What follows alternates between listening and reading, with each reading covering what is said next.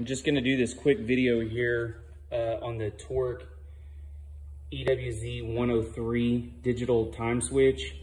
Um, based on the diagram right here, this is this is wiring for 240. Uh, there's videos about how to wire 120, but there's I couldn't find anything uh, for 240, but I made the mistake of jumping four and six together so, and it wouldn't work. So I reached out to an electrician friend and this is how you set it up.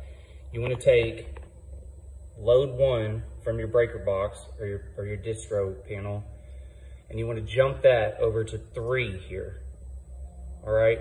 And then you wanna take the second load from your distro or breaker and you wanna jump that to five.